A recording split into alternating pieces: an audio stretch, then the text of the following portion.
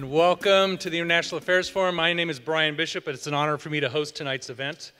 We've got a special piece uh, going tonight. If everyone looks back at this camera in the back left-hand corner here, uh, wave. We have about 50 to 100 students back over in Scholars Hall that are going to be watching this from a simulcast. And Admiral Titley was able, kind enough to go over there and say hi to them earlier, just a little bit ago.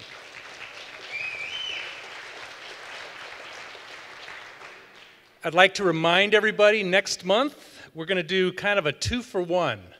On the 10th of November, we are teaming up with the State Theater to bring free to the community a documentary called Disturbing the Peace. And then we will have a post film discussion with our own Jack Siegel. Disturbing the Peace is a new film about the Israeli Palestinian conflict that won the first ever Robert Ebert Humanitarian Award in April. It's a transformative documentary about former elite Israeli and Palestinian soldiers who unite under a common banner to protest the bloodshed that has traumatized both of their countries. And then the next week, following that, on November 17th, we will have the opportunity to discuss that with Steve Simon, who is the White House Director of the Middle East Affairs during the Obama administration. So you'll definitely want to put those two dates on your calendar. Again, 10 November for, this, for the film and 17 November for Steve Simon. Tonight, I want to thank a couple people. First, the NMC Office of Media and Technologies and Film. Thank you all very much up there for all your technical support. Thank you to NMC for the, our ability to use the, the Milliken Auditorium here. I also want to thank uh, Dr. Lisa Del Buono from the Climate, uh, Citizens of Climate Change.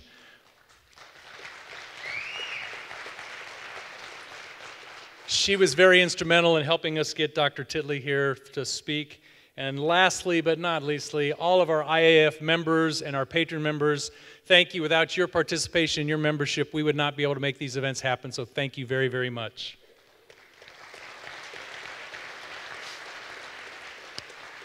So, Dr. David Titley is a professor of practice in meteorology and a professor of international affairs at Penn State University. He's also the founding director of Penn State's Center for Solutions to Weather and Climate Risk. He has served as a naval officer for 32 years and rose to the rank of Rear Admiral. And in, in that capacity, he had duties as the Naval, Me Naval Meteorological and Oceanography Command, oceanographer and a navigator of the Navy, Deputy Assistant Chief of Naval Operations for Information Dominance. He also served as a senior military assistant for the Director, Office of Net Assessment in the Office of the Secretary of Defense. While serving in the Pentagon, Dr. Titley initiated and led the U.S. Navy's task force on climate change. After retiring from the Navy, he served as the Deputy Undersecretary of Commerce for Operations, the, the Chief Operating Officer position at the National Oceanic and Atmospheric Administration.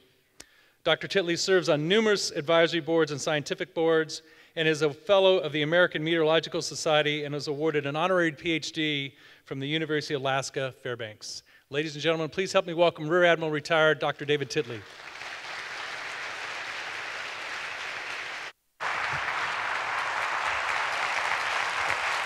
Well, thanks.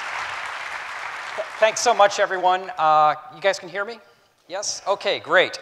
So I really want to thank, uh, first I want to thank uh, General Bishop for a very, very kind introduction and really for uh, hosting me uh, uh, today. So that's really above and beyond the call if you had to put up with me for the whole day.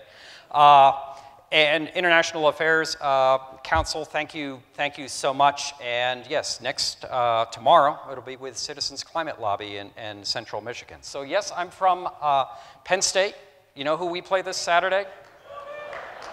It's at, it's at school down south, right? So my guess is for at least 48 hours, you guys will be Penn State fans. You know, after Saturday night, probably don't care so much. Okay, so what we're going to do is we're going to talk about uh, climate change, maybe in a slightly different way than what you might have heard it before. Uh, and you can kind of tell from the, the title, People Not Polar Bears, if you were looking for the Greenpeace lecture, you might be in the wrong place because I'm not, I'm not going to do that one tonight. Uh, just kind of what we'll, we'll cover here. I'll just do a few basics uh, so that, that people can kind of, kind of see where, where I'm coming from. And then we'll talk about this as a, as a security risk, how we're going to tackle this, and some things we can do and are doing. And then uh, a little bit, just one or two slides on energy, and then, and then we'll just uh, wrap it up there. So first, I'll just, just give you a tiny little background about me. Any idea what this thing is here? It's a rain gauge. And the reason I have that here is when I was nine years old, that was my pride and joy. So I was one of these kids who kind of knew from the time I was about yay high, I was going to do something with weather. And this is right after you want to be a policeman and a fireman and a snowplow driver and all that kind of stuff, you know. And my parents are like, "Yeah, sure, you're going to do this. You'll change your mind in two weeks." They're still waiting for me to change my mind. So this was really I was going to do weather. I didn't know about the Navy. I didn't know about, let alone climate or anything. But I, have just always, always been interested in, in weather.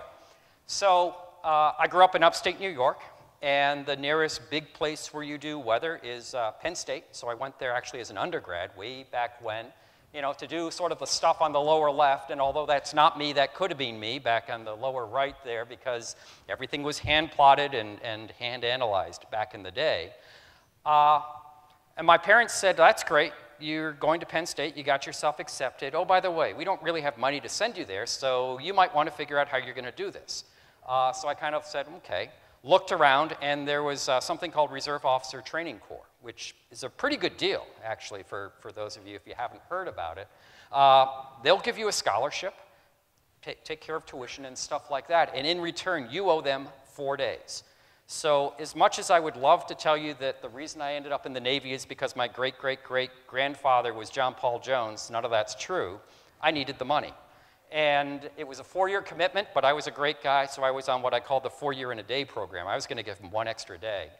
Uh, but a funny thing happened. Uh, it turns out that uh, I enjoyed being at sea, I enjoyed being a naval officer, and so four years in a day turned into, well, as long as it's still fun and the Navy thinks I'm minimally competent and doesn't throw me out. Uh, and that ended up being, being about 32 years. So that, that was, uh, that's how I ended up in, in, the, in the Navy. It wasn't a grand plan. It just, just sort of worked out that way. After I uh, retired from the Navy, I went to work for NOAA as their uh, chief operating officer. And I did that for, for a little while, for just under a year or so, and then realized it's really time to go and do something other than the federal government. So now, as, as mentioned, I'm, I'm back at Penn State and uh, teaching there and having a great time. So that's kind of me. I, I tell people that really I'm, I'm, a recovering weather forecaster and just sort of stumbled into this uh, climate type, type thing, but, but I'm, I'm a weather guy. I mean, that's, that's really what I am.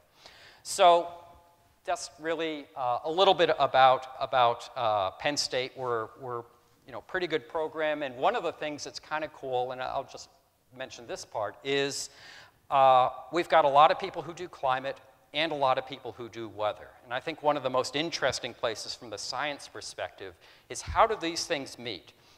In a lot of programs, they sort of do one or the other, but they don't do both. And sort of understanding how do you get from sort of forecasting into weather uh, is actually pretty interesting because if you're a business, this isn't defense per se, although it's true in defense as well, but you know, if you're a business, if you're running a city, Traverse City or any city, you may not care that much about the year 2100 or 2150, but you sure care what's going to happen in the next five years, 10 years, 30 years, 40 years for your infrastructure, for planning, when am I going to have really cold times, really warm times? When should I put extra money in my snow budget? When can I take it out and do other things? So, if weather writ large can get better at helping uh, both private sector and government make those kinds of decisions, then, then we're being useful. And, and that's some of the stuff we're, we're working on in my, in my day job. Okay, we're going to talk about climate, and trust me, we'll talk plenty about climate. But what I, I like to do, just at least briefly, is try to remind people uh, that it certainly is not the only big issue that we are all collectively going to confront and deal with in the 21st century. Uh, we are going to really deal with food, water, and energy. Uh, it's, it's really hard to have life, certainly life as we, as we like to live it, with, without those three three components, and there is an increasing competition uh, for those. We are, whether we like it or not, whether we think it's good or not, the reality is, at least today, we live in a globalized society.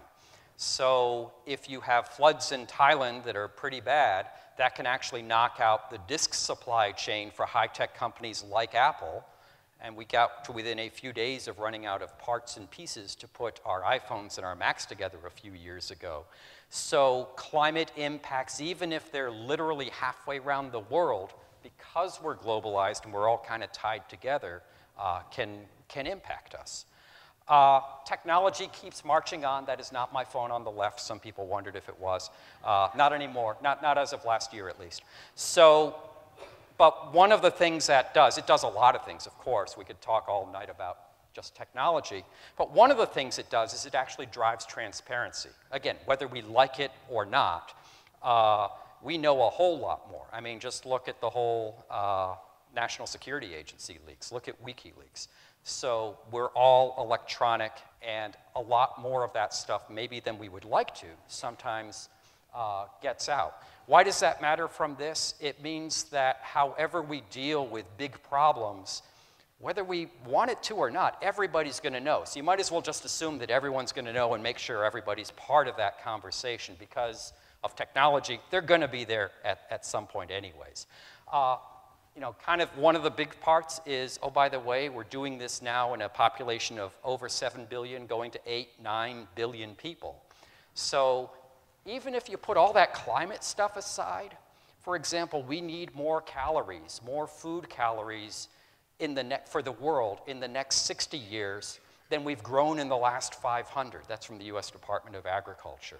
So that alone is a pretty significant challenge. And again, now we're going to do this in this changing environment, in this changing climate. But, you know, if we need to either move people, migrate, whatever, that's a lot of people. So, so that's, that's another big, big driver. And then, you know, I've got this picture of G20 finance ministers, and what in goodness name are they doing in a, in a climate brief? Did I, like, copy and paste the wrong thing? Uh, no, because our self-talk in much of the West, in this country and much of the West, is that we're out of money. Again, is that true? Is it not? I'm not going to say, but we tell ourselves that. So we still have, you know, these what's called the Budget Control Act, sequestration. You may have, may have heard of that. That stuff hasn't been repealed. You know, that's going to actually come back if, if the Congress doesn't and the administration doesn't figure out another deal. And a lot of that's happening in Europe as well. So we've got population, climate, globalization, competition for resources, ever increasing technology, and we say we're broke. Uh, these are the challenges. Now, I'm not going to talk a ton more about the non climate issues, but whenever I talk climate, I think it's useful to sort of remember it's not happening in isolation. It both is affected and affects, it impacts all these other big issues.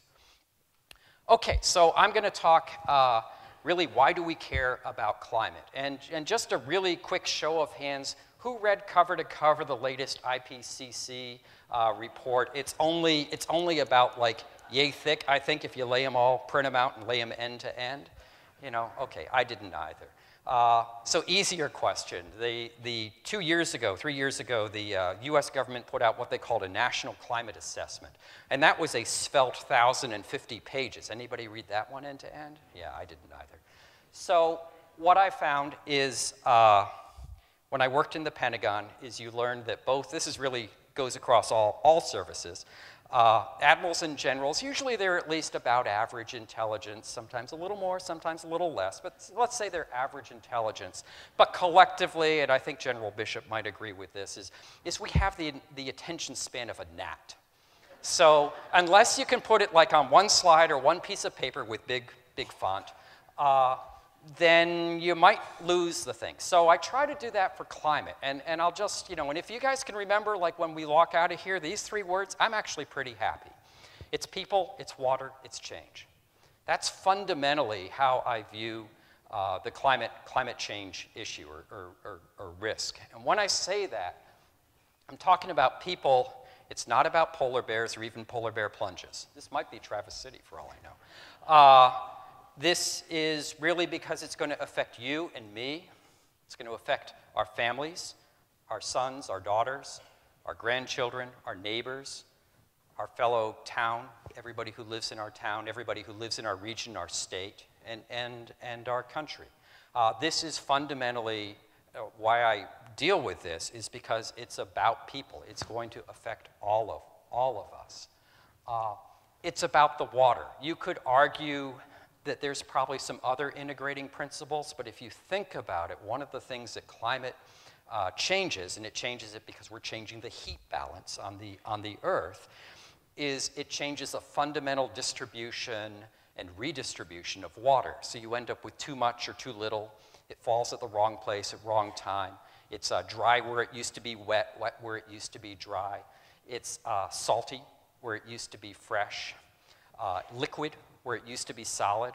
And even the chemistry of the oceans themselves are, are changing, and it's changing faster than, than some of the ecosystems can, can deal with.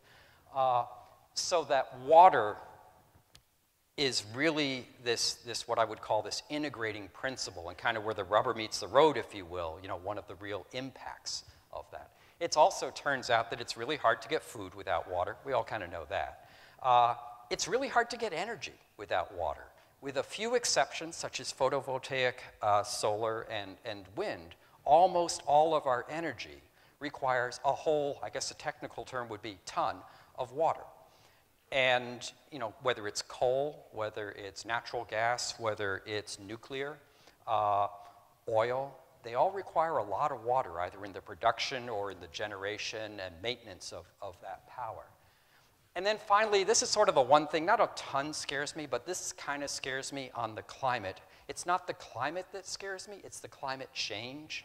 Uh, I mean, we're in Traverse City. You're about to go into fall, like we are in Pennsylvania, of course. So in State College, I mean, we get the winds off Lake Erie. Basically, when I say goodbye to the sun here in a week or two, when we get into November, I'll probably see it again in March. You know, nobody's claiming that's an ideal climate. Anybody live in San Diego, used to live in San Diego? Somebody's got to. Okay, sir, yeah, you guys have ideal climate. Everybody else, not so much. But we, what we have known, though, it's been more or less within bounds. Obviously, each year is different, but within bounds, it's been a stable and knowable and predictable climate. We knew more or less, if anybody here farms, uh, cherries, wine, uh, we know pretty much when the last freeze is. We know when the first freeze is. We know about how much rain falls in the summer. We know about how cold it's going to be in the winter and which bugs that kills off and which ones it doesn't. And you could say that sort of for, for everyone. We've had this stability. We've had stability for the last three, four, five thousand years in sea levels. So if we built a city on the coast, it was on the coast. It wasn't 20 feet above or 20 feet below. It was on the coast. Now, we're kind of getting on this escalator, at least for temperature. Uh, that's actually in the Washington metro system. I found a day where it was actually working. It was nice. Uh, and anybody been to Washington, you'd understand that. And uh, we're, we're about, we're getting on that escalator. We're already on the lower parts, and we're going up. So we no longer have that stability. And we've kind of literally built human civilization. We never thought about it per se, but we've actually built civilization on that implied premise of climate stability. And now that's going away. But we're going to deal with it now, not just a few you know, million people sort of hunter gatherers. We're going to deal with it with 8 billion people in the Treaty of Westphalia and, and all that. So if we do this right, it'll be a bumpy road. It'll be a real bumpy road. If we do it wrong, then we get some real nasty security issues. So people, water, change. That's kind of, kind of what, what this is fundamentally about. Any idea what this is? Sextant. Yeah, I know. It's, it, looking out here, at least probably half the audience realizes there was a time in the world when you navigated and you didn't just pull this thing out and it told you to within two meters like of where you were in the world. So one of my first jobs in the Navy, and I would argue maybe my best job, is I got to be navigator on an old guided missile destroyer. And what you learn pretty quickly is look at all the data, look at all the information, but don't trust any one piece of it 100%. Use that stuff God gave you in between your ears and try to integrate it and evaluate it. And then you come up with, okay, I'm here, and you get a feel for, yeah, I know I'm here, or it's like, I don't know how well I am. But when I was asked by the head of the Navy in 2009 to look at climate, this is kind of what I did. I said, okay, I really hadn't, I was a weather guy. I really hadn't looked at climate very much. You know, you hear this stuff, some of it makes you kind of raise your eyebrows. Geez, is that a little alarmist? Is it whatever? So I said, okay, let's just look. So I went through, and I'm not, I don't have time tonight to go through all the data, but I mean, I literally started with talking to astrophysicists and heliophysicists, people who study the sun, uh, people like Margaret Leinen. And I said, hey, Margaret, is the sun getting hotter or getting colder? What do we know? And it turns out that it's basically stayed the same. If anything, it's a tiny, tiny bit colder, but it's basically stayed the same. So you say, well, okay, that's not why things are warming up. And then you start looking, how much is it warming up? And I looked at things like ocean temperatures, atmosphere temperatures. Are glaciers receding or are they advancing? Turns out over 90% are going backwards, they're, they're receding. Uh, you look at the ecosystems.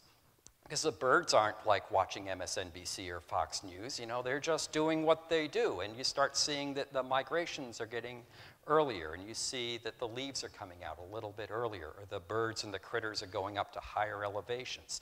So lots of what we would call independent data you know, if you don't believe one thing, that's okay, but, you know, or you're not convinced that that one piece of evidence may be all that great, but you sort of integrate all these very, very different pieces of evidence and you start getting a picture. So again, I'm not going to go through all of that uh, tonight. I'm just going to run a couple of short videos. Uh, this is from my friends at NASA, and let me just set this up for you. So basically, what you're going to see in the lower center of the screen, I hope you can see that. It says 1884 right now. It's going to go through, imagine taking all the thermometers on the Earth, average them up for a year, and then compare that number to the long-term 20th century average for that point on the Earth. And if it's right at the average, it's white. If it's colder, it's blue. If it's warmer, it's oranges, yellows, and, uh, and reds there. And, and, you'll, and then we just put this into a loop and we just kind of see it. So you'll see sort of the splotchy changes, but it really shows you, you know, what's, what's going on. So let me see if I can run this for you here. Okay, here we go. So 1890, 1900, come up through World War I. You can kind of see how Europe did in World War I, 1914, 18. You know, we get warm. Watch the Dust Bowl. Here's 30. Watch the US, 36. So it got pretty warm in the US, but there was lots of areas that it wasn't terribly warm. 50s. Here's the 60s. If you can remember them, what is it? You weren't there, right? 70s. 80s. Oh, we're not done yet. 90s. Y2K, we made it. And this loop goes to 2012. And if I had 2014, 15, 16, we've actually now set hottest ever records uh, the last, last couple of years. I'll run it just one more time because I think it's kind of neat and you can either watch, you can watch here in Michigan, you can watch maybe, uh, you know, maybe your parents came from Europe or your grandparents came from Asia. You can kind of see how it was like in other parts of the world or Africa. Uh, and you can just kind of see that this is how you know, it kind of shows that year average, and there's certainly variability. And I, I got a lot of, uh, you know, things even this morning, you know, from people says, hey, climate's always changed. And you're right, it has always changed. But that doesn't exclude the fact that man, we can change it as well. The two are not mutually exclusive. So we still have these ups and downs, natural variability, but they kind of stay in a channel. And now we're adding, as I think you can see, you know, kind of a forcing function, if you will, and it's, and it's coming up. So that's, that's, that's just air temperature. And I'll, I'll show you again. We could spend all, all night, we could spend all week on this stuff. But let me go to a different graph here. So this doesn't come from NASA, this comes from my friends at NOAA. And I'll just, it, it'll run for a little bit. I'll just try to orient you. Imagine like you're, you've got this super bird's eye view from several thousand miles up, and you're looking right down on the North Pole. So Greenland is at the 4 o'clock position, Canada's at 6 o'clock, Alaska is like 7 or 8 o'clock there. Russia goes from about 9 o'clock to midnight. It's really big. And then Scandinavia over at the 1 or 2 o'clock. 2 o'clock. So that's, that's the orientation. And we're looking at the Arctic Ocean, we're actually looking at sea ice. And it's kind of cool. All we've done, again, this is not, just like the last one I should have mentioned, that was not a model, it's not a projection, it's just what's happened. Same thing with this, not a model, not a computer, thinking maybe someday. This is just measuring, and we actually use, uh, it's called microwave satellites. Uh, the cool thing is, is they can look through the dark, because there's a lot of dark, and they can look through the clouds, there's a lot of clouds. The even cooler thing than that is you actually get a different signal if it's really old, hard, thick ice compared to the ice that's relatively thin and it's maybe only formed a year or two ago. So my friends at NOAA, they colored up the new ice as blue and the really old ice is white, and this is what you see. Now watch, and the time is running down at the bottom. So 2006, watch what happens in 07. Boom, it almost goes away. Tries to come back in 08 and 09 like my stock market portfolio did.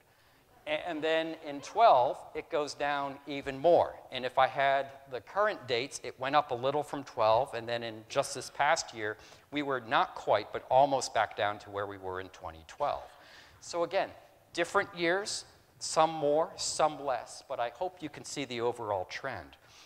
What I can tell you is if you had told 90% of the people who studied this, let's say in the year 2000, that by the year 2012, we would have basically lost all that old, hard, thick ice, the stuff that's white, they would have said, You're crazy. They said, Yeah, maybe by the middle of the century, by the end of the century. It's happened by 2012. So whether we know it or not, or we pay attention or not, the Arctic has fundamentally changed in the last 15 or 20 years. Fundamentally changed. That's happened.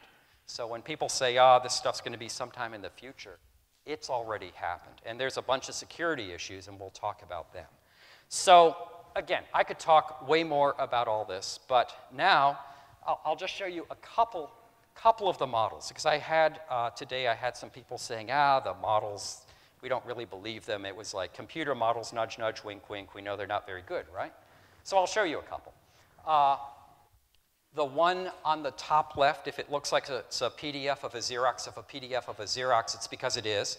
Comes out of a science magazine that was published back in 1980 and a guy named Jim Hansen. This is a science guy, not the Muppets guy. Uh, he basically ran those black lines are his model. And again, he probably ran them on a computer that has less computing power than this thing here. But he ran that, and the good thing is, is he put it, he published it. So we can all look it up. You can go to the library, find it. Uh, and now the really cool thing is, is you can say, well, was he right or not? And that's what the purple line is. So technically, he actually was wrong. Why? He was colder. He was too conservative he didn't get enough warming. But I would say it was useful because he said, hey, we're going to start getting on that escalator, and sure enough, we have. The one on the right, these are the much more sophisticated models you sometimes hear about in the news, the so-called IPCC models that some people said, ah, they're no good. Well, in 20, I think I go up to 2013, 14, 2014 on this one, we're right on the black line. We're right in the middle of where we kind of should be there. And actually, in 15 and 16, we're slightly over that black line. So, again, some years up, some years down, but I hope you can see the trend.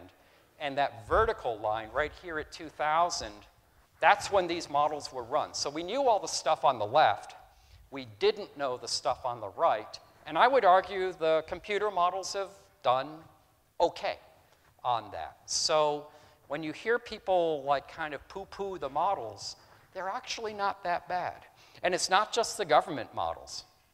My friends at uh, then Esso, now Exxon, back in December 1980, they basically had the same answer that Jim Hansen did back then.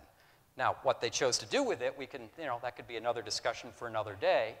But they kind of saw back in 1980 that we're going to get on this escalator. So, private sector, government, we all got the same answer.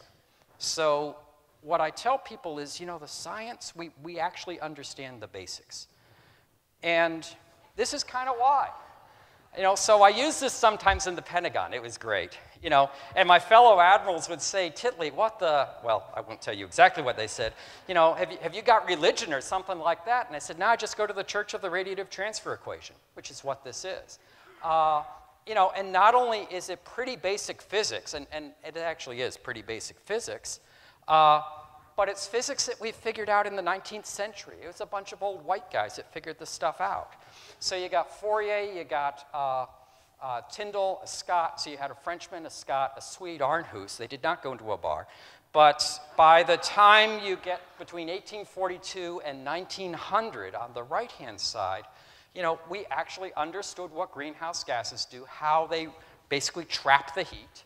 That was what Fourier figured out. And by the time you get to Arrhenius, he actually figured out he was doing calculations with paper and pencil because of the Industrial Revolution. He actually underestimated the amount of greenhouse gases, but he had basically the right idea. So what I tell people is this, that the basics of climate science is this is cutting edge 19th century science we're talking about here. I mean, that's, that's what it is. Now, if we get time at the end, there's a ton of really interesting questions. But the basics we know really, really well. Okay, so here's audience participation time. I'm going to ask you guys, you know, who believes in climate change? And I don't mean just believe, I mean who believes in climate change? So, show of hands if you believe in climate change. Okay, I do not. I know, that's a cheap rhetorical trick, isn't it? But let me tell you why I do not believe in climate change. I am convinced by the evidence that the climate is changing. But to me, this, this is science. This is not a belief system. A belief system is probably something you might do on a Friday night, a Saturday night, a Sunday morning. Those are belief systems. And we all have belief systems, and if I get to the end of my slide deck, I'll tell you a couple of my belief systems. Uh, but this is really what does the evidence, does the evidence convince you? To me, there is so much overwhelming independent evidence, and we've understood the physics, the whys, for well over 100 years. That's why I'm, I'm, I am convinced by the evidence that, that the climate is changing. But to me, uh, it's not a belief system. So when that crazy uncle comes to Thanksgiving here in a few weeks and said, I don't believe this stuff, well, tell him, neither do you. You know, and see what you get. Okay, let's talk about a little bit of the security issues here. So this is a slide. I know it looks kind of boring uh, but I had to give it to 70 admirals from 70 different countries. Uh, so you want to keep it simple. Remember the attention span, what I told you. Uh, and also, if you look at this, the only place it even says climate is up in the header. I don't even talk about it. So, like, if you're ever uh, talking about climate, uh, or really anything. You try to like talk in their language, not in yours. I mean, yes, I can talk science geek stuff and it's fun and, and all that sort of thing. That doesn't really help many people, honestly. Uh, but if I'm talking to senior military professionals of really almost any service, uh, of any country, they understand like those column headings. They understand capacity. They understand readiness. Readiness means not only do I have soldiers, sailors, airmen, and Marines and equipment, but those men and women know how to use it. They're effective. We can maintain it, and we can use this in hostile conditions, either because it's hostile physically or because somebody is like trying to defeat us. It, it's it's a, a combat situation, or at least uncertain. And new missions means just what it says. So we'll go through uh, some of these. I'll talk about the Arctic you know, how does climate impact those missions? How does it impact readiness? What are the new missions? What are the impacts to our bases? Uh, some of these geostrategic threats down at the bottom, we can, we can talk just a little bit about those. Uh, the disaster relief, probably in the interest of time, I'm not going to talk about this evening, but if anybody has questions, I'm happy to. So, really, in the Arctic, this is about security, access, and, and our sovereignty. Uh, it turns out, I don't know, has, had anybody either operated or been up in the Arctic? I know Coast Guard commander has. So a few, a few have. You know, is there a ton of stuff up there? No, there's nothing. There ain't nothing up there. It is austere. I mean, it puts the A in austere. I mean, there is nothing up there.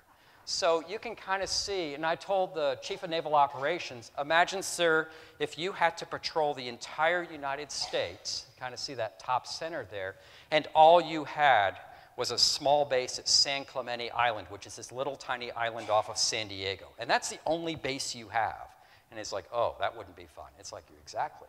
That's the kind of, kind of uh, ranges and distances that you have to be prepared to support yourself even though the ice is melting out, the operating environment is still really hard. And in some ways, it's even harder because without that ice, you have the wind can blow across the water. You actually can get bigger waves now. And if you get the bigger waves, you get icing. And I think I was quoted in some paper today as saying, you know how the United States Navy, our high tech US Navy, removes ice from our ships? With a bosun mate and a mallet. Yeah. So, you know, we're still kind of there. You know, we haven't really put much effort in technology into changing that. How are the shipping routes going to change? I'll talk about that in a second. How do the Russians think about this? The Russians have had that ice on their northern flank, their northern frontier, really since they have been a country. And if anyone's dealt with the Russians, I love them dearly, but they are sometimes a little paranoid as a country, right? So all of a sudden, their natural northern defense is not there anymore. It explains, in my view, in my opinion, at least some of the buildup that we've been seeing.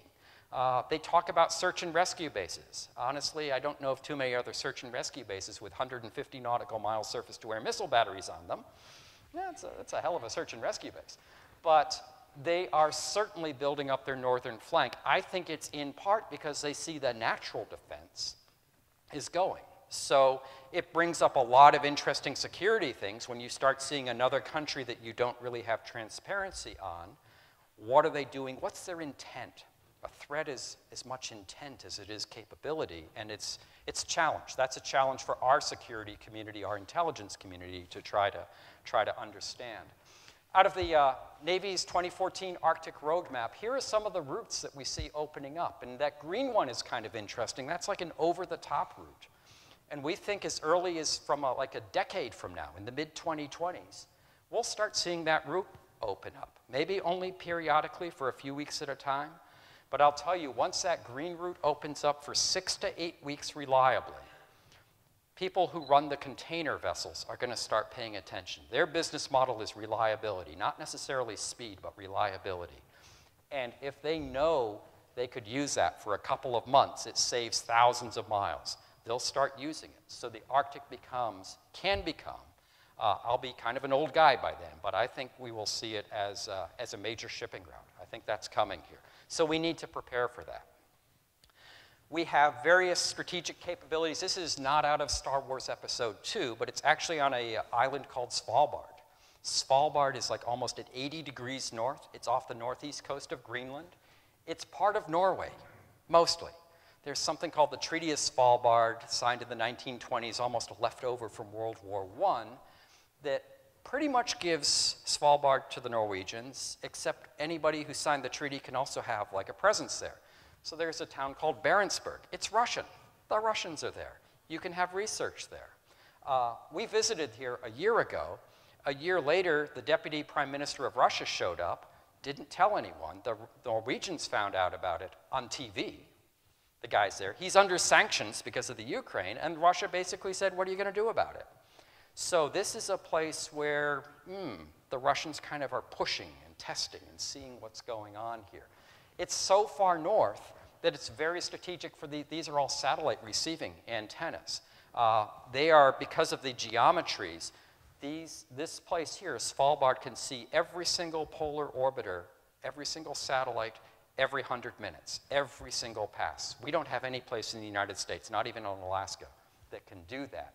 So we have lots of capability up here, uh, great connection down to the mainland to Europe. It's a very strategic location for anything that we're doing in space, the ultimate high ground. Uh, and it's in the Arctic. Okay, let's talk about sea level rise. And we often think about Bangladesh, and we should, because there's a whole lot of people that are going to be displaced. Uh, every four years, we have a big UN climate convention. In 2009, the island of Tuvalu were uh, kind of the rock stars for a few days. Uh, and those are all important things. I mean, if you're an, an, island nation, sea level rise can be an existential threat if you're just a low lying atoll. If you're Bangladesh, you worry about where those millions of people are going to go. Those are big, big things. Let me talk about a couple things that the Department of Defense, US Department of Defense, thinks about. This one on the left, I'll bet some people at least have been here. That's Diego Garcia. Little tiny atoll in the middle of the Indian Ocean, actually owned by the Brits, uh, British Indian Ocean Territory. but the United States has used this for really any security function that we have felt necessary for the last 30, 40 plus years. And as long as we're nice to the birds and the turtles, the Brits let us do that. But it's only about four or five feet above the sea level. So if that goes, really everything we do in the Middle East and Southwest Asia has to change. And we really haven't thought that one through too much. Uh, the top right, this just came out of Stars and Stripes, and I apologize to my Air Force colleagues, but the story is uh, while we're building new space surveillance stations to really make sure that we understand everything that is, that is up in space, one of them's on this little island called Kwajalein. And a billion dollars, hundreds and hundreds of pages of environmental impact. Do you think they thought about sea level? Why would you think about sea level for a billion dollars, right? You didn't pay me enough. So now the AP, the Associated Press, has said, you know, hey guys, what are you doing? And, uh, and everybody's kind of pointing their fingers at each other. So again, this is, you know, this is a, a defense issue, and it comes down to a money issue because who's funding this? Us, we. It's our tax money. And if we have to go build that thing again a lot faster than we thought, that's money out of our pockets. And then the one on the right is this is my no good deed goes unpunished picture. It's uh, in Norfolk, we had a hurricane coming through. We knew it was going to come through. We get the ships out of there because ships actually at sea are safer than ships in port in a hurricane. Those are the sailors' cars. They parked them at Pier 12. Uh, unfortunately, nobody told them that the storm surge was going to come. So when they came back in three days later, they were not very happy. So that's sort of a tactical issue there. You know, even in Norway, where they don't really think of sea level, I was there for another conference in Bergen, Norway, on their, on their coast. You know, this was just a normal day. So everybody, everybody is going to deal with the sea level rise issue. We are going to deal with it. It's going to be a domestic issue. Uh, these are, I think you can see the outline of the US. This is not uh, elevation. This is number of people within about three, three and a half feet of high tide. So you see all that red down in South Florida. That's a lot of people. Uh, you can see around New York City, uh, Norfolk, uh, Sacramento. Around Sacramento, you have a lot of people. What's going to happen is we really haven't paid a whole ton of attention. And when we do, sort of all these towns are going to figure it out at the same time and the states are all going to figure out they don't have money, and everybody's going to go to the federal government about the same time the Department of Defense figures out their coastal installations are at risk. So if you think money is tight now, 2016 will rapidly be seen as the good old days, because this is going to be, you know, even in Traverse City, we're all going to pay for this, one way or the other. We're, we're going to pay for this issue here. Okay, I'm going to talk about just one example of these geostrategic risks, and some of you may have heard heard the story about Syria and, of course, the, the tragic rise of ISIS. I, I hope you can kind of see the timeline down here, but really, and I'll bet some people have had to do this. If you've ever had to do like an aircraft uh, accident or a mishap investigation or a ship or something, often nowadays, you know, there's rarely just one simple cause, but it's this chain of events that happens, and this happened to this happened to this, and then you get a, a tragic ending, whether it's an aircraft goes down or, or something. And that's kind of what happened in Syria. You can even trace it back like 40 plus years ago. When Assad comes in, one of his goals was to be self-sufficient. You know, now, you know, you'd sort of want to be his advisor. It's like, dude, do you know you're like kind of living in a desert here? You know, but he's Assad, and probably if you say that, your career in the Syrian civil service is not going to be one of upward mobility. So Probably it's like, boss, you are smart, handsome, and wonderful. That is a great idea, sir. We'll get right on it. And they did. And they achieved it. But they achieved it at the cost of draining their aquifers and draining their rivers. So it's like, you know, the kid out of college who wants a Ferrari, and somehow they scrape up enough money with everything and every loan. They got the Ferrari, but when it breaks, they're in trouble. So when this broke, was in trouble. And they had some things that have nothing to do with climate that pressurize us. The Iraq War, a million refugees go into Syria, a million refugees. Uh, and they're in the cities. And it's Assad. It's not like he takes care of people very well. And then fast forward another four or five years, and now you get a drought that the science community can show with pretty high confidence certainly was worse because of the man made global warming. But you have no backup. You have no aquifers, you have no rivers, you now just have dust where you used to grow your crops.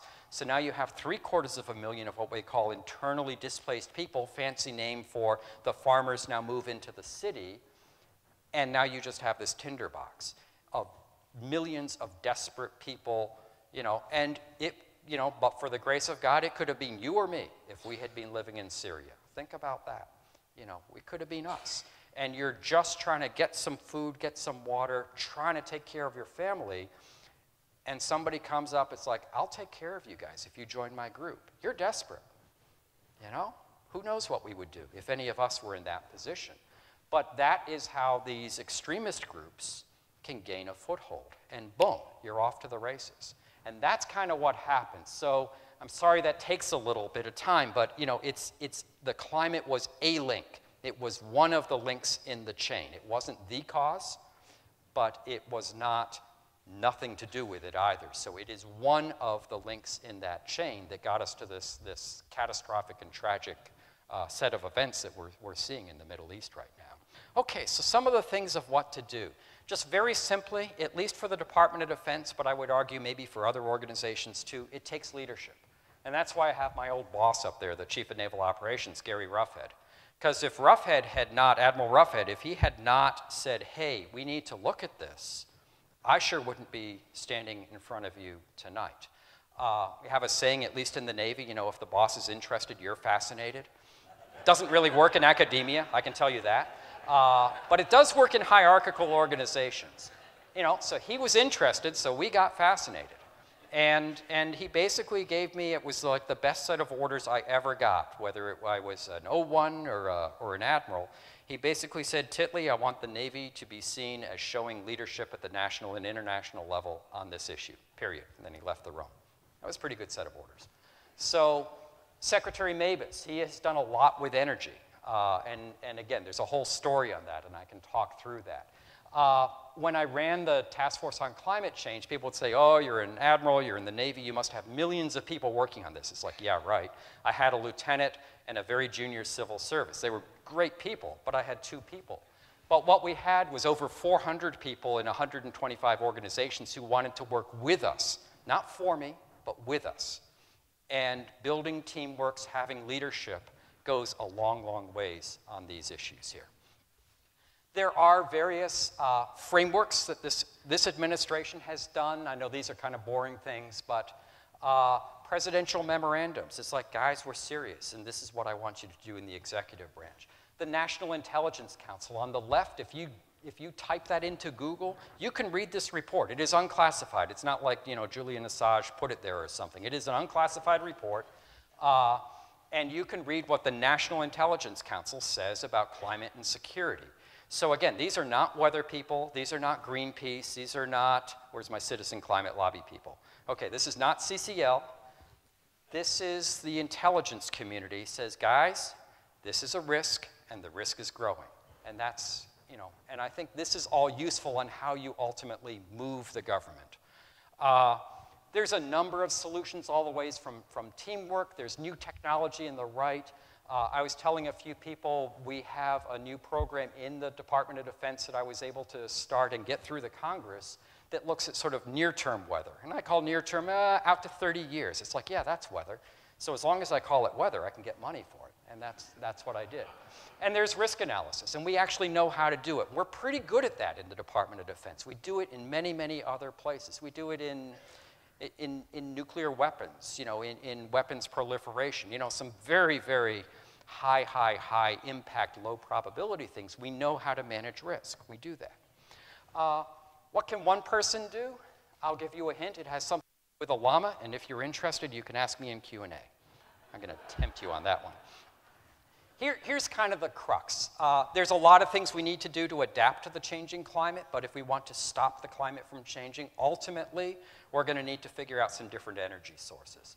And it turns out that the United States, this is just for the US, uh, we have already gone through about three energy transitions in our country's life. We started on wood, and then we were mostly coal, then we're mostly fossil fuels, uh, oil and gas. So we'll probably get to some sort of renewables or non-carbon.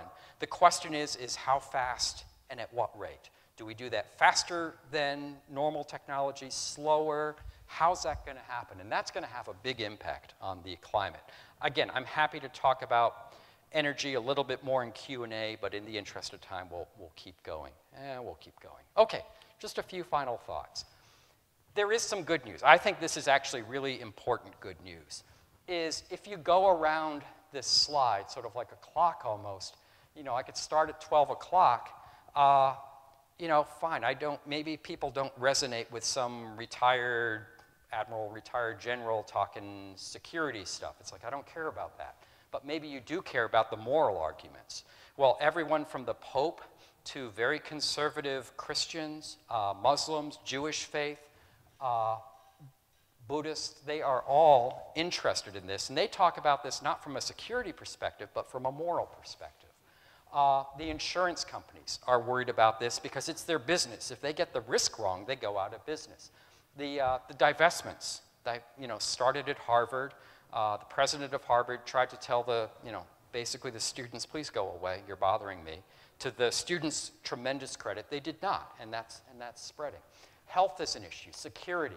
Uh, the media, James Balog's Chasing Ice, uh, Years of Living Dangerously, there are many films. And yes, there's my one polar bear on an ice floe because that's what we think about. The environmentalists have, of course, talked about this for a long time. And then you go up to like the 10 o'clock uh, the risky business. So Hank Paulson, Bloomberg, uh, Secretary, former Secretary of the Treasury, Goldman Sachs, you know, big, big business says, guys, this is a risk to our business.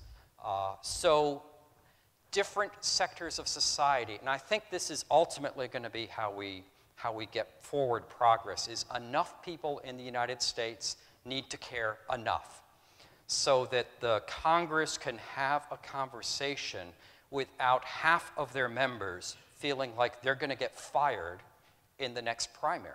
So some of you probably have heard of a guy named Bob Inglis, Representative Bob Inglis from South Carolina. Super, super conservative guy. He can quote the Bible with the best of them. Uh, he was ranking member on House Science, and he basically said in 2010, you know, there might be something to this. He didn't say, let's go tax carbon at $100 a ton. He said, there might be something here we might want to pay attention to. He got fired. He got fired in the primary. And everybody else looks around at that and says, I'm not going to be the next Bob Inglis. So we, the voters, the citizens, have to make sure that our elected representatives understand it's okay and we would like you to have a policy debate about this. We are not going to fire you for that. In fact, we encourage it. Because right now, there's a bunch of people who think they're going to get fired if they talk about this. And that's just, that's just kind of where they are. Yes, there's 10% who probably really do think it's a hoax, and I'm sorry, I will pray for them tonight. I can't help them. But there's a bunch of people who they understand it, Republicans, who really totally understand it. But they also understand the politics. And their assessment is it's a very risky, personally, move for them. And nobody that I've met wants to intentionally do something that gets them fired. Okay, there are going to be surprises uh, all the way from climate intervention. Uh, aerosols, changes in the Arctic may lead to still yet unknown changes in the weather down here in the middle latitudes. My friend Niels Bohr on the lower right there, he, he famously said that predictions are tough, especially about the future. And, and I do not claim to have any magic crystal ball, so I'll guarantee you there will still be some surprises to come. But that doesn't mean that we're going to just like totally overturn climate science. We've not seen any evidence of that. But how fast, how much risk, those are all still in play. You know, and the, and the thing is, is sort of, I know this is a little geeky graph here, but that one on the lower right, uh, the issue is, is not that, well, we've kind of got you know, the, this risk that we pretty much know, and it might be a little worse, it might be a little better. The risk is on the right-hand side of what we call a fat tail, and that's, that's going to be the, uh, the issue that we've got to deal with there.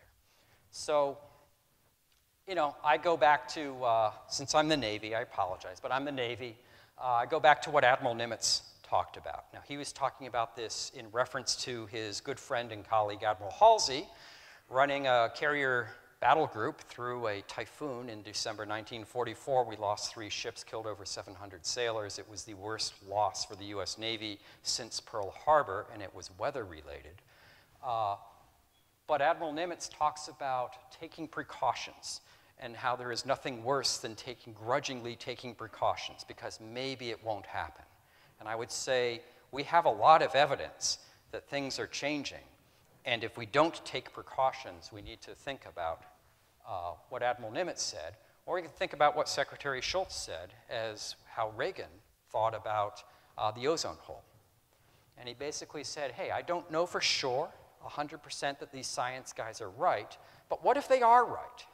We better take an insurance policy. So that's what he did. That's exactly what he did. So, okay, so we've been talking all this 50,000 high level geostrategery and stuff like that. Let me just make it a little bit more personal. So, I mentioned I was running the Navy's Weather and Ocean uh, Command, and it happens to be at a place uh, in Mississippi, uh, Stennis Space Center, right on the Mississippi Louisiana border, right on the coast. Uh, so, I lived in a little town called Waveland, Mississippi, and that was, that was a house that my wife and I lived in. And if you ever wonder what a nine meter storm surge uh, does, that's what it is. So that's me, first time coming back and figuring this out. So when we say we lost our house, we quite literally lost our house. To this day, we don't know where it is or where it went. Because it's not like I cleaned up the yard and then took the picture. There was nothing there. So it either went to the right and up into the railway tracks where half of Waveland ended up, or it got sucked back out into the ocean. The one good thing is the ugliest house on the block. You can kind of see those cinder blocks on the right. So my fantasy is my house came off its uh, moorings there, knocked down the ugly house, and that was okay for me. I can live with that. But, you know, so I show this not to have sympathy. We were the luckiest people on the coast. We had flood insurance. So many people did not.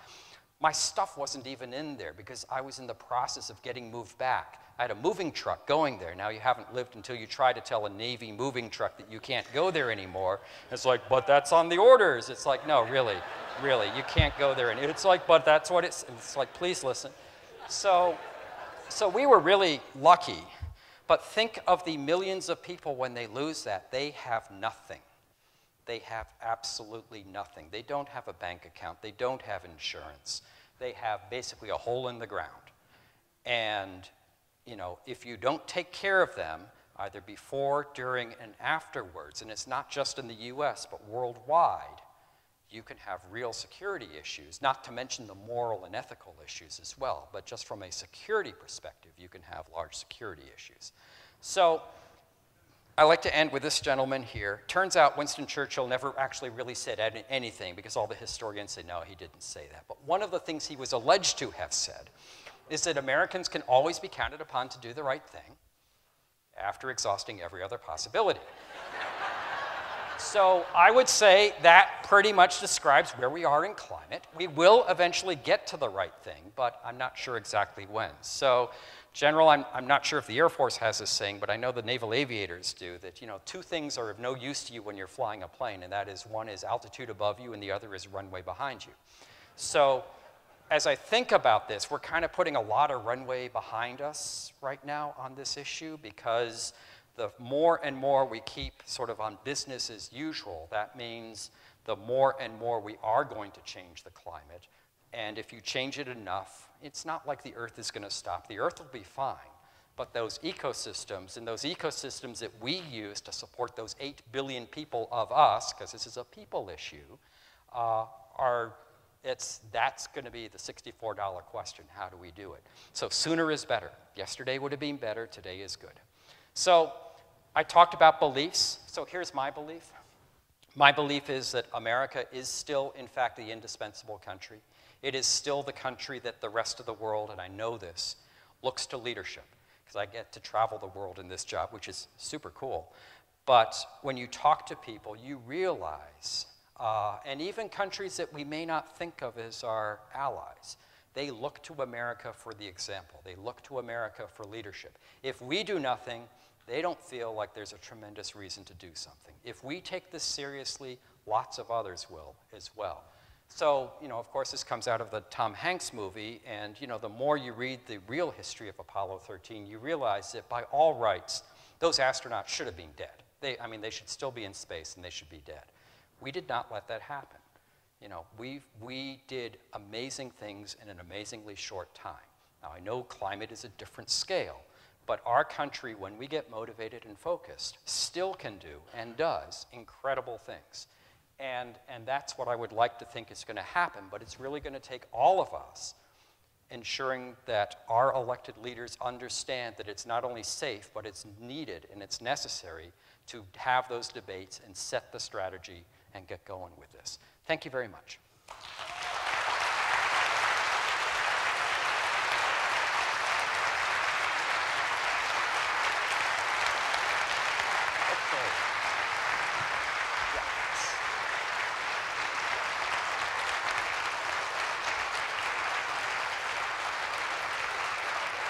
Thank you.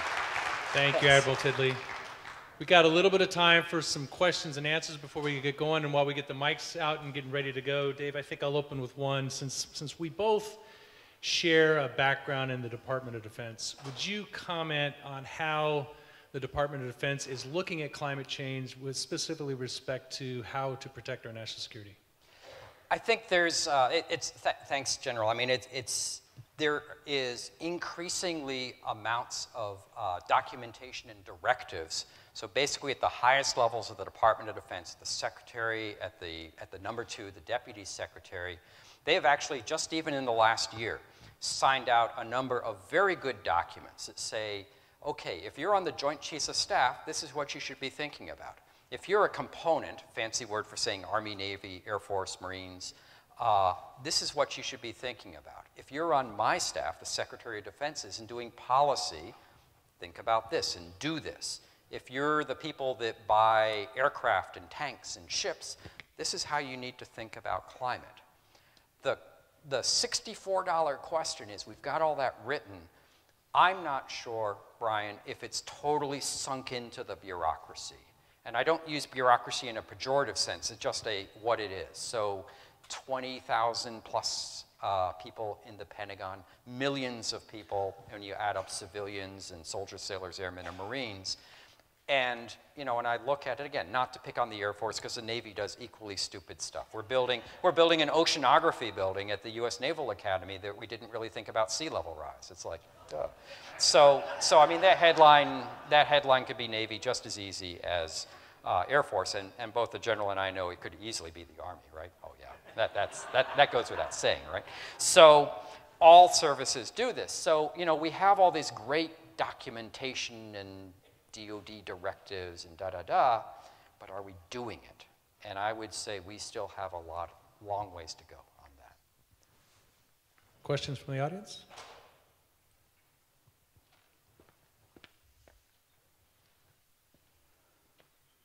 Sir, could you explain the llama? The llama, okay, I know. I always get asked about the llama. Sure, let me, let me go back. I'll go back to my llama slide here, Brian. Let me just back it up. Llamas, one each. There we go. Okay, so we all know how you go viral on the internet, right? Cute cats. I have no cute cats, so I have to have a cute llama instead. So really, what I, what I use for the llama is uh, just a little acronym. The first L is learn. And when I say learn, this does not mean become Michael Mann.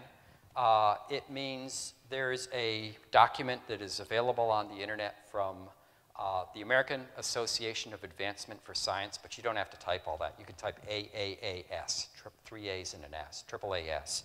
What we know. That's all it is. It's a perfect title because it's really easy to remember. What we know. It's about eight pages. It is written so that I will guarantee you every single person in this room and the students, if there are any students left, uh, watching, everybody will get it. It's, it's written in beautifully clear, simple, just easy to understand English. And that just kind of explains through the basics of climate change that you would want to know as a citizen. And again, if you want to be a climate scientist, sure, come talk to me and I'll get you into Penn State or something. But you know, if you want to, just as a citizen, it's perfect. And then if you really want extra credit because you're just one of those overachiever people, we all know who you are, uh, type in National Academy of Science or NAS Royal Society. That's the Brits version of the National Academy of Science, although they would say they formed theirs first, but whatever. Uh, and type uh, climate change, but with those two. And the, and there's about a 30 page document that then takes you from the 90th percent level to the 99th percent level, but it's written by the National Academy of Science. It doesn't have a cute, catchy title I can remember. Uh, and it's not quite as clearly written. I mean, it's written more for sciencey types. Uh, it's really good, but it's, it's not quite as accessible as the, as the what we know version. That's the first L. Second L is local action. And what I mean by that is do what you can, you know, but you all know your individual lifestyles. I'll bet we got some folks here live on a farm or do some farming, I'll bet. Yeah. So, you know, you need to, you need to run your farms. I mean, you gotta, you gotta run your farm. You're probably not gonna run your farm on a Prius, I'm guessing. Uh, could be wrong, but I'm guessing you're not gonna do that. You know, I'll bet we got people here who like to boat, like to do stuff with RVs, yeah? I mean, I do. Uh, you know, so, so there are gonna be things you can do, but in general, think about as you get a chance, as we all do in life, to make future decisions about like where we're going to live or what we're going to do, think about your food, your energy, your water. In very rough, gross terms, everyone in the U.S., I'm not like picking out people, but everyone in the U.S., all of us, uh, we, we waste about a third of our food, a third of our energy, a third of our water. So just sort of think about, hey, what could I do to kind of cut that down? But not living in a cave wearing a hair shirt and, and saying, I'm the martyr and you guys all need to, to be with me. Uh, just a short example. So, three years ago, I moved from Washington, D.C. up to Penn State. For our budget, we sort of had two choices. I could have lived five to 10 miles away, and I could have had a big new house out in the country, probably an acre, a couple acres, whatever. Or I could live really close to campus, older house, somewhat smaller house, uh, but I could walk to work. And that to me was really appealing. So for the same amount of money, uh, now when I'm on campus, I have like zero carbon footprint on my, on my commute because I walk. What I like even more is the university doesn't get any more parking ticket money out of me because I can't tell you how much they got out of me when I was an undergrad. Uh, and then, of course, you know, you don't even get a transcript until you, you pay. It's like, haven't I paid you guys enough? But not that I'm bitter or anything. Uh, and you know, but, but I had that choice. So we've, and then over time, as we've lived there, like we put in double pane windows, uh, we put in insulation, what a concept. And, you know, and we've, we've really been able to reduce our heating bill for, for just sort of simple type stuff. So that's, you know, but different people are going to be able to do different things. But I got a four wheel drive car. Why? Because I live in northern Pennsylvania and I need to get to Washington. And, uh, I'm not going to do that in a car that doesn't have four-wheel drive. Uh, so I'm not, believe me, I'm not holding myself up as I'm this zero carbon guy. But when I have a choice, I, it's one of the things that I try to think about. M, very simple. If you're on the technical side, and I give you know a bunch of talks to like science people at NASA and Department of Energy, the whole way we monitor the climate, all that stuff that I showed you from NOAA and NASA, honestly, it's, it's baling wire and chewing gum that holds our system together. You would think we're a rich country and we could like have a decent climate monitoring system. It's sort of at the bottom of the feeding trough of, of priorities. So stuff's always breaking. There's always these dangers of like data gaps. We're always hoping the Europeans will have a space mission because we screwed ours up and you know, that's not really a good way to run a railroad. Monitoring can also be, though, monitor what your local politicians say. Just see what they're actually saying. That's another monitoring. And then finally, the A is advocacy. And this is, and I kind of talked about this. I mean, my question, whenever I get a chance in front of an elected leader, is just ask him or her, her or him, what, ma'am or sir, are you doing to stabilize our climate? So it's kind of an open ended question. And with all due respect to my Citizens Climate Lobby friends, I don't ask, are you supporting a revenue neutral carbon tax? And the reason I don't is that's a yes or no answer. It's like, no. Okay, now what am I going to say?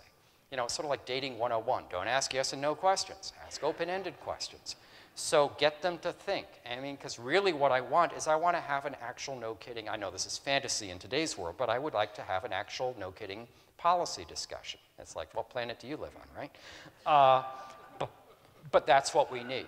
And whether that's, I personally think a carbon tax is a good idea. I'm on the Citizen, excuse me, Climate Lobby uh, Board of Advisors.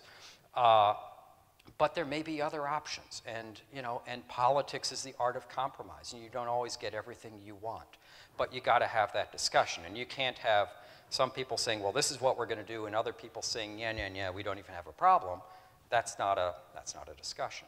So, and even if you get a lousy answer from your politician, you know, in that reptilian stem cell politician brain, it registers that one of their bosses was interested that's probably worth every bit as much as whatever answer that you get. Because right now, the perception and the kind of the reality is nobody cares.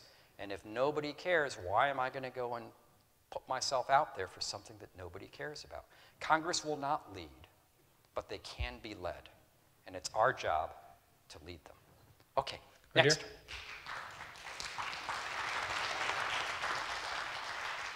Who is next? Well, number one, thank you very much for coming to Traverse City. Uh, ah, there, okay. uh, and number two, I think a lot of people in this community follow your llama type of perspective in not only dealing with government, but also in their private lives. But um, I have a more specific question. A lot of the models are suggesting that uh, with climate change, you'll see rising levels of seawater. Is, are the models projecting that it is all due to melting of ice, or are there other sources that are going to cause the levels of water to rise? Okay, it's a, it's a really good question. I think everybody heard. Uh, I'll try not to get too science techno geeky here on, on people.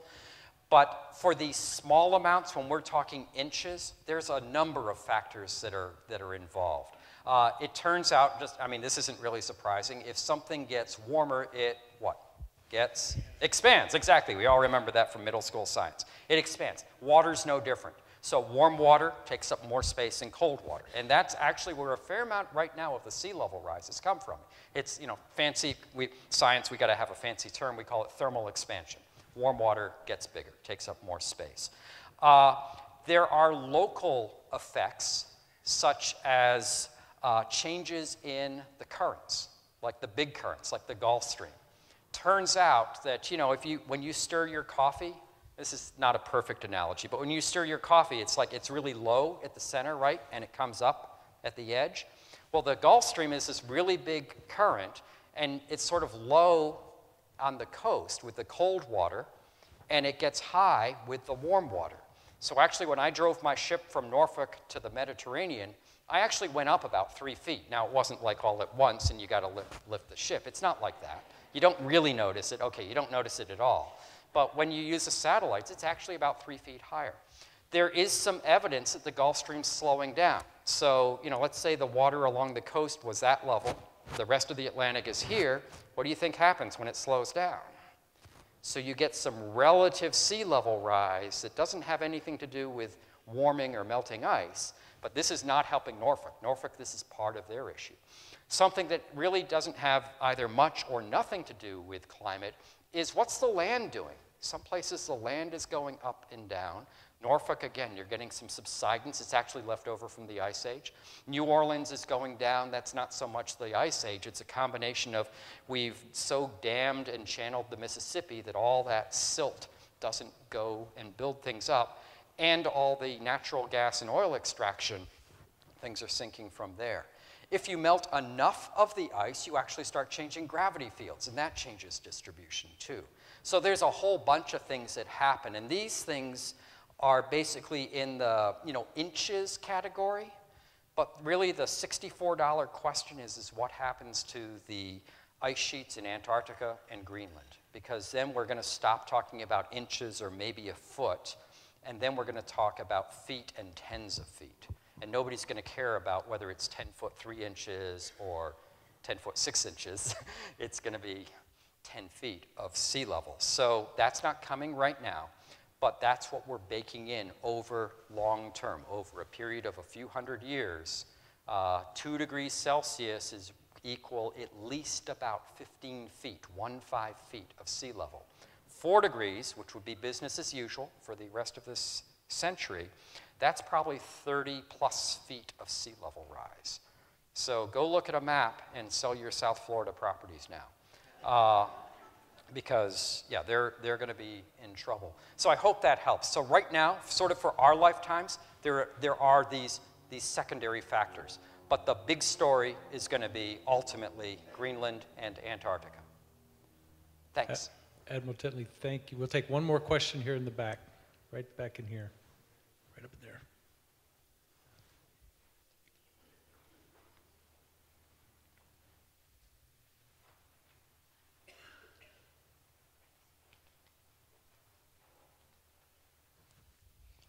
Hello, sir. Hi. Um, You mentioned earlier Congress can be led. Um, I heard that there was a amendment to the Defense Authorization Bill recently passed by the House of Representatives that actually prevented Defense Department from mitigation and other studies related to climate change, forbidding the- the Pentagon from heeding your warnings and adapting and changing as necessary to the climate. I was wondering, I think it's stout- it's stymied at the Senate, not That's sure. correct. Um, Wondering what your feeling about that is, I'm pretty sure I'll know. But uh, also what we citizens can do to squash that. Well, that's, that's it, it's, it's a great question. And there's, you know, for anybody who's worked in Washington or worked with the, the legislative process, it turns out there's actually a lot of places where you can influence legislation if you sort of understand the process and know where it is. So you're, exactly right, sir. There is uh, what they call a rider, I mean, a piece of, you know, a statement, if you will, in, I believe it's in the authorization bill that the House of Representatives has passed that does prohibit the uh, Pentagon from at least looking at, at basically climate-related things. So the chances of that getting through the Senate are extremely small. They've tried this before in the House, and the Senate uh, kills this. And it's not that the Senate has a huge amount of climate supporters, but there are enough people, especially on the Armed Services Committees, who kind of say, hey, if you talk about these changes, and when I talk to, especially the right of center senators, I mean, I talk about it as these are the changes. They kind of show those early animations and say, sir, you know, senator, congressman, we don't even have to talk about why it's changing. But unless somebody can tell me that change is going to stop, then we kind of need to keep preparing for that. So, okay, yeah, I get that. And so there are ways to talk to the Senate to, to have a very, very high chance that that language will not, uh, not survive any what they would call conference. Uh, the administration can, when they choose to engage with the Congress, say, guys, you know, this thing here, this has got to go. This is, you know, you don't want to veto. We don't want to veto. We don't want to even use a threat, but please make this go away. So the, the administration has, has opportunities to weigh into this. Uh, but right now, it's kind of a cheap thing for the House to put in, or some members of the House. Maybe they have big fossil fuel interest, maybe they have other interest. Uh, and again, there's nothing really pushing against that because the perspective is on a list of top 20 things that Americans count on, this is like number 23. So, you know, it's not a risky vote for them to put stuff like that in there. Uh, so that's what I mean that they're not leading, uh, but we can help them ultimately out of that. What can you do? Uh, very simply, if, especially if you have a member of Congress that is supporting that, you can ask her or him, uh, ma'am, sir, this is not helpful. Uh, you can really go to that National Intelligence Council report, unclassified. You can just post in the link. I think for these reasons that our intelligence community has stated, we need to at least be able to think about this problem. Thank you for your attention. Boom. So that, that's what I would, I would write to them. Dave, on, on behalf of the audience and also our membership and our patron members, thank you for taking your time to come out and enlighten us here in Traverse City. Greatly appreciate it. Thank you very much, everybody. Thanks so much, Brian. Thanks.